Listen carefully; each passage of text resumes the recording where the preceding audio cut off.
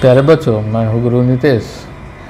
आज हम लोग क्लास एट का एक्सरसाइज 11.6 से क्वेश्चन नंबर फाइव सॉल्व कर रहे हैं। क्वेश्चन नंबर फाइव कहता है Daniel is painted the walls and ceiling of a cuboid hall with length breadth and height of 15 metre 10 metre and 7 metre respectively मतलब कि एक हॉल को उसको पेंट करना है, एक हॉल को पेंट करना है जिसका लेंथ जो है लेंथ दिया हुआ है 15 मीटर बिर्थ जो है वो है 10 मीटर और हाइट जो है वो है 7 मीटर ठीक है? अब कहता है from each can of paint 100 metre square of area is painted कहता है कि एक जो पेंट करने के लिए जो केन है केन बना आ, मतलब डब्बा आता है एक डब्बा 100 मीटर स्क्वायर को पेंट कर सकता है। तो how many cans are painted will will she need to paint the room? कहता है कि केन का कितना डब्बा चाहिए ताकि वह पूरे रूम को अच्छे से पेंट कर ले। एक डब्बा 100 मीटर स्क्वायर को पेंट करता है, ठीक है? तो जब हमको पेंट करना है तो इससे पहले वाले क्वेश्चन में भी हम लोग देखे होंगे कि जब हमको पेंट करना है तो पेंट तो हम लोग फर्श पे करते नहीं हैं। तो हम लोग क्या करेंगे? इसके टोटल सरफेस एरिया में से हम लोग इसके फर्श के एरिया को सब्सट्रैक्ट कर लेंगे और जो एरिया आएगा, उसको 100 से भाग दे देंगे डिवाइड कर देंगे तो हमको मिल जाएगा कि हमको कितने केन की आवश्यकता है। ठीक है?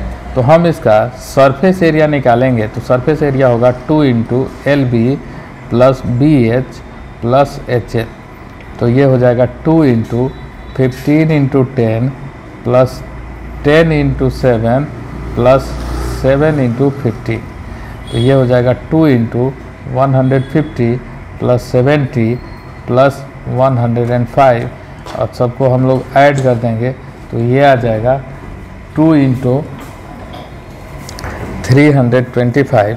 तो ये आ जाएगा six hundred fifty metre square. ये टोटल एरिया आ गया। अब इसमें से हमको क्या करना है? रूफ के एरिया को, जो ज़मीन होता है, उस पर तो पेंट नहीं किया जाता। है उस एरिया को सब्सट्रैक्ट करना है। तो एरिया ऑफ़ बेस है ना, या रूफ जो भी बोले, वो हो जाएगा एल इंटू बी बराबर हो जाएगा पंद्रह इंटू दस बराबर हो जाएगा 150 मीटर स्क्वायर तो टोटल रिमेनिंग एरिया बराबर होगा, क्या हो जाएगा? 650 metre square minus 150 metre square बराबर 500 मीटर स्क्वायर अब दिया हुआ है, एक केन जो है एक केन जो है, वो 100 मीटर स्क्वायर को पेंट कर सकता है। तो टोटल नंबर ऑफ़ केन्स बराबर हो जाएगा। Total area upon one cans area बराबर क्या हो जाएगा? 500 अपॉन 100 बराबर 5 केन्स तो इसका मतलब पूरे रूम को पेंट करने के लिए जो डेनियल के पास क्यूबाइट हॉल है, उसको पेंट करने के लिए उसको पाँच कैन की आवश्यकता पड़ेगी। अगर एक can say 100 metre square paint होता है, जैसा कि क्वेश्चन कह रहा है। Thank you